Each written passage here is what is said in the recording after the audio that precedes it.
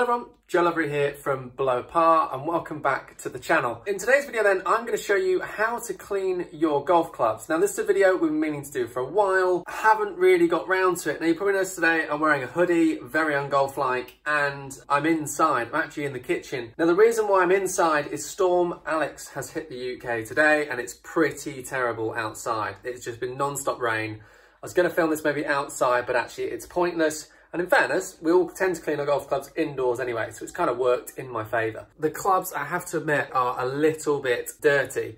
I was out playing in a playing lesson the other day and noticed I hadn't cleaned them very well from when after my practice session. Equally, there's a lot of rubbish in my golf bag, which I know if you've watched the how to set your golf bag video, you'll notice I'm not a big fan of that. So guys, before I get into the video, please make sure to hit that like and subscribe button. We do really appreciate it. It helps us, helps support us and helps keep us motivated as well to keep bringing lots of content.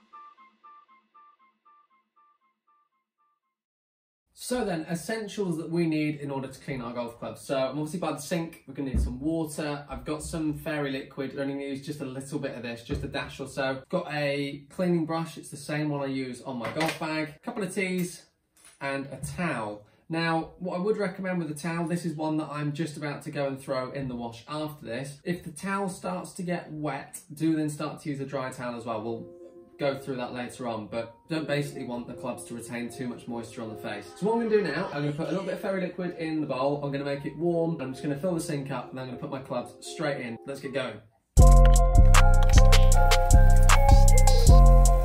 This is my wedge I use a lot for teaching. Now you notice obviously it gets quite rusty, but equally, I don't do a very good job afterwards of wiping off. I tend to just throw it straight back in my car. So the grooves are full of muck, muck all over the face. Let's pop this in. I'm going to pop some other clubs in as well. You'll also notice for me, the grips now are starting to look a bit shiny and a bit slick. We can get these to come back to life, so we will do that as well.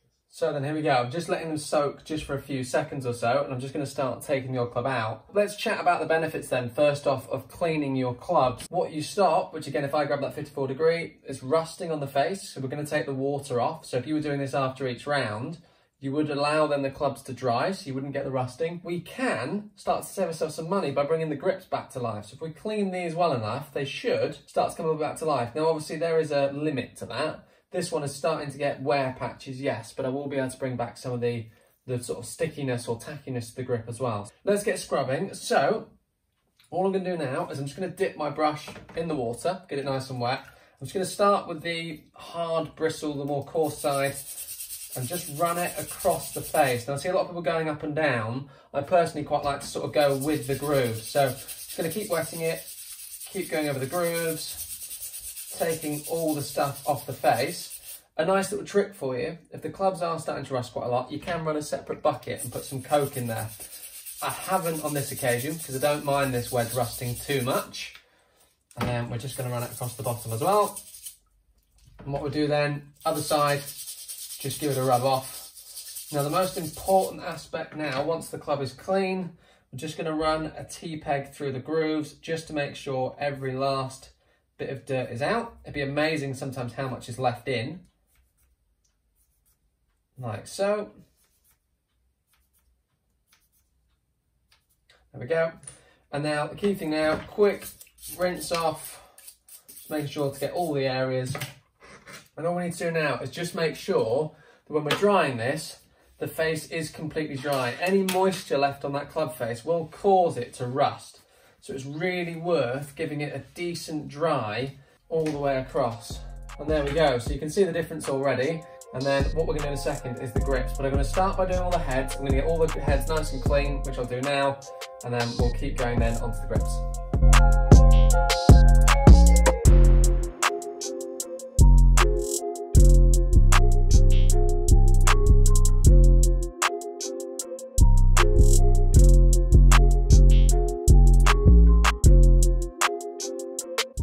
We go then. For many people, that would be it. So if you've only got a spare five minutes or so just to clean your clubs up, that is done.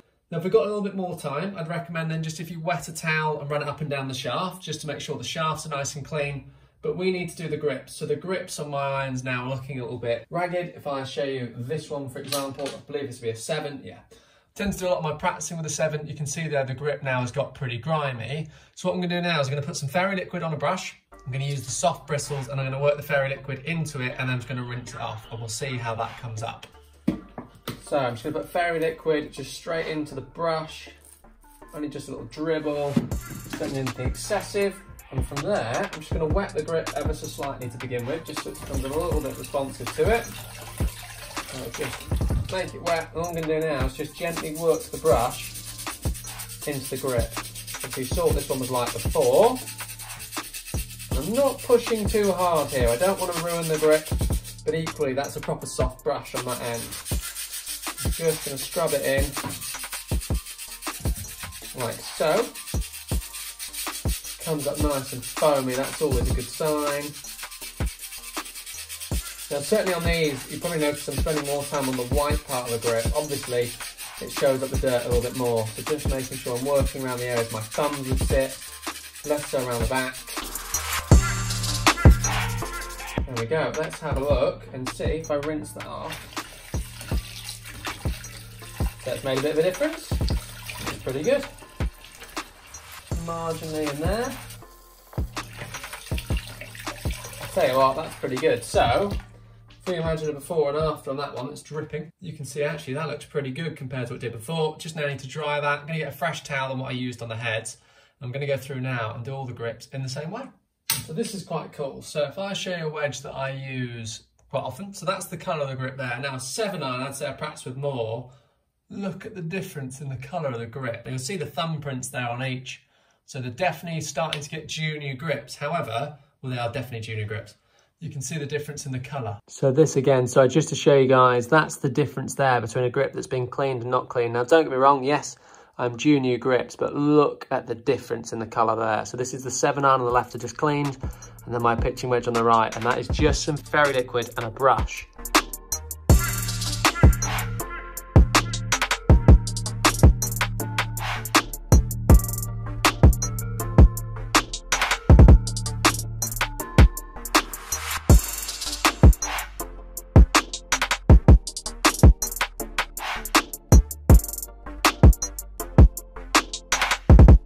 There we go, and that's the irons all done. So you can see how much better and how much whiter all the grips look.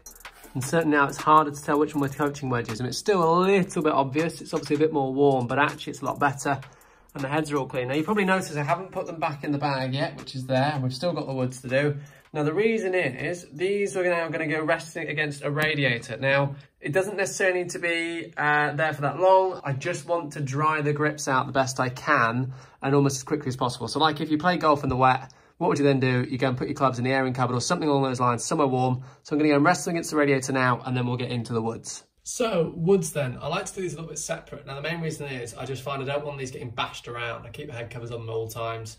So I'm just going to be a little bit more careful with these. Now I don't tend to soak them too much in water either. I just try to get the face a bit wet. So I'm going to just use the brush rather than putting this under it.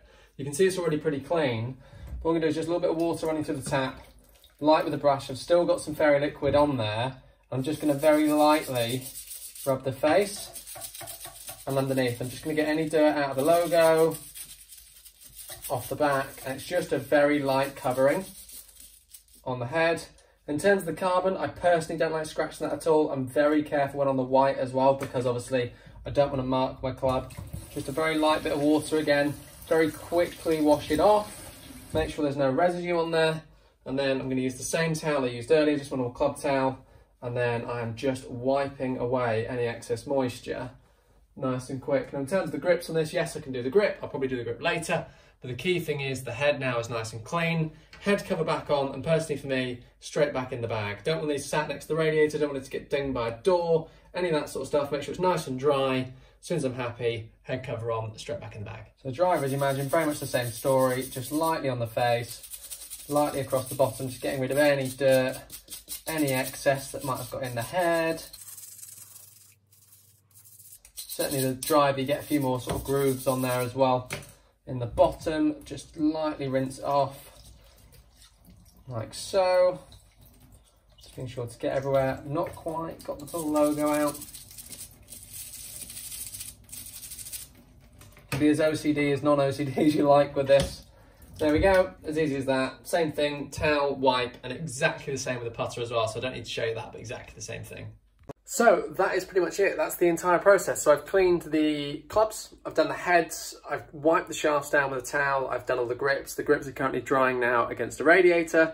I've done my woods, I've done my putter, so everything is ready to go. I've left my putter grip alone. I've just got a thin red Scotty Cameron grip. In fairness, it's pretty clean, so I'm not needing to do it. Uh, I'm going to clean my practice balls and things now. I won't film that. It's not overly interesting. But that is essentially how to clean your golf clubs. So I hope you have really enjoyed this video. It was quite good fun to make. Obviously, I get some clean clubs off the back of it, which is fab. And I would have been doing it anyway. So hopefully you found it useful. If you've got any questions below, do let me know. Thank you very much for watching, guys. Please make sure to hit that subscribe button. We really appreciate it if you did so. Hope to see you all very soon. Thanks.